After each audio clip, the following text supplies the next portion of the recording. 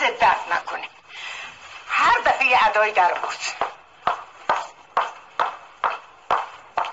یعنی خانم اگر برای من پالونم بگیرن من باید بپوشم؟